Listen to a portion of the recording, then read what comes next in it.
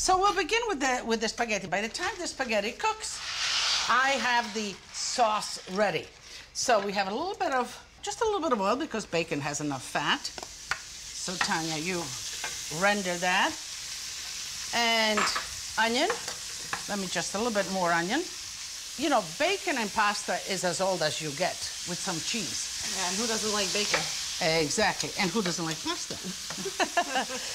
this is almost a more recent recipe in, in Rome. You spent a lot of time researching in Rome. Uh-huh. In Rome, it's ubiquitous. It's this, and amatriciana e cacio e pepe. So those are the three typical Roman pasta dishes, and you can get it on, you know, any menu. And if they don't have it, believe me, they know how to make it because they grew up on this stuff. Uh, and carbonara actually comes from uh, the name, the myth or little story behind it is that the workers in the mines, they work the carbone, and the carbonara, their wife, would have a little bit of the coal or carbone in her hair, and it would get into the sauce. So that's the black flecks of pepper. That's being creative. Let me tell you, the flavor is good.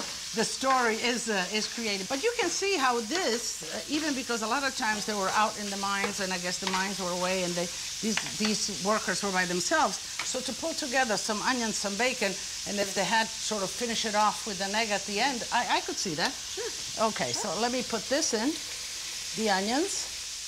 But let's talk a little bit about bacon and what kind will you use. Now this is pancetta. Pancia, the belly, and bacon is the belly fat, whether you have it in a slab like this. And this one is a little slightly smoked, so you might like that. Or the regular bacon, sliced bacon that you buy, it's perfectly fine again. And then we have the Italians also have the guanciale. This is the guanciale, which is the cheek bacon. It is the cheek of the pig, and they cure it with salt, and it is delicious. So, Tanya, in Rome, where would one? Well, first choice would be to find yourself a little Roman grandma and have her make it for you. But if you can't do that, uh, there is this little trattoria in Rome, uh, in Trastevere actually, but not in the main sort of area of Trastevere. You gotta have to find it. It's actually on Vicolo del Mattonato. Vicolo is even smaller than Via. It's a tiny little one block Okay, road. okay. La Lucia, and they make an awesome uh, carbonara. So, so you would say going to Trastevere is a good bet. A good bet. Okay, so this is nice and crispy, and the and the onions, you know, I like them just a little bit. I don't like them too um, too wilted, so a little bit of. And again, this the use of the pasta water is something you know. One would say, oh, you know, what, do- what should I use? Yeah, should I use stock? Should I use that? How are we doing with that? The Well, pasta. I've got another minute maybe too. Yeah, okay, so let this cook together. And, uh, and then we'll finish it, really cook it in here. Uh, so when you're cooking, the pasta water is an essential ingredient of cooking pasta. Not only cooking, but dressing pasta too. So always save a little bit of that pasta water so that at the end, if it's too dense, you can use it and so on. You think we're ready? Yeah, because it'll absorb the uh, water exactly, from here. Exactly, and we'll cook right there. Then the binding with the egg yolk, and a lot of you are maybe apprehensive about eggs and egg yolks these days. You know, just ensure yourself that you get it from a reputable natural farm. But if you really don't want to use the egg, you don't have to. It will bind anyway. It'll be a little less rich, but it'll bind anyway. But what I do just to make it cook a little bit, if you have those concerns, is that I temper it just a little bit like that. I take some of that pasta water. Go ahead, Tanya. Hold this for me. The pasta, there, the water, the pasta water. And just put it in here. And we'll temper, we'll temper the, the, okay, a little bit at a time. So this way you don't cook because you don't want the eggs to really cook or scramble, okay? And then we'll add this to the pasta to bind the whole thing, to make almost like a custard, if you will, in the pasta. Go ahead, Tanya, yeah. That's good. The pasta looks really good al dente, you see. How do you tell when the pasta is cooked, Tanya? Um, it's uh, f- uh, flexible enough, but not too uh, squiggly. It But still do you has taste a, it? Oh, I taste it, and when I taste it, then I also see if the water had enough salt from the beginning. So there is something to definitely tasting your pasta before. Okay. One of my favorite things is you say al dente, but uh, Fortunato from Felidia says al muro. It's so no al paco, al paco. That's what he says. It's he loves it so al dente that it's like just out of the box almost. Exactly.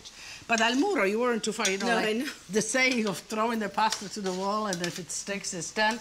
That's also, there's some truth to that. And that is that the pasta has a little bit of that starch left to it. And that you want that. That's why you don't want to rinse the pasta. That's why you don't want to add oil to the pasta when it when it when it cooks because you want the sauce to adhere to it. Just You do you do your magic there. I Oh. can't do that why why not? because it ends up on the stove. Okay, so maybe just a little bit of uh, pasta water. Okay, once I begin to add uh, the the eggs and all of that, I'll shut the fire off. I'll add the scallions just now. Go ahead, toss it around, all in. This is for the freshness, and I don't want them to cook. I just want it to be nice and fresh. It's just another dimension of the onion. You already have that onion. It's not that I'm going in a different direction. Okay, so yeah, why don't you shut it off? And I'm gonna throw this and you twist the pasta soon. That's it. That's it. Go ahead. Okay. And even though it's not, it's not, don't, and then you'll, you will add some, do I have your finger in there? No, no, no. Good. Okay, so wait, wait, wait a second. Let me just collect all of this. So you see, I want to show them, that's why. You see how the creaminess, that's just the sauce in there? You see, it, and it's not scrambled, it's just, and that is from the egg. Uh, it's nice and, and glides. Go ahead. Okay. The, the formaggio, you can put grana, parmigiano, but pecorino also is, is used in this and is used a lot. In Rome, they use a lot the pecorino. They have a lot of sheep there. Some more? You like some more? Uh, I like to put it on at the end. Okay, then we'll, we'll do just that.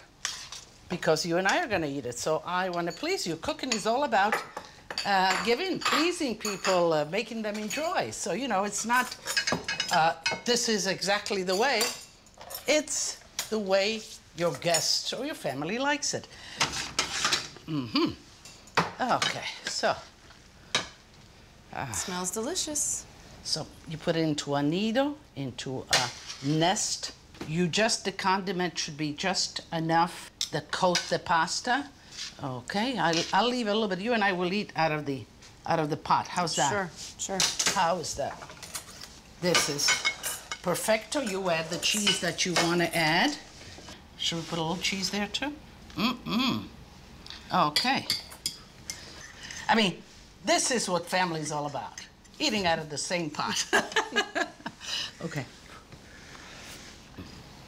Mm.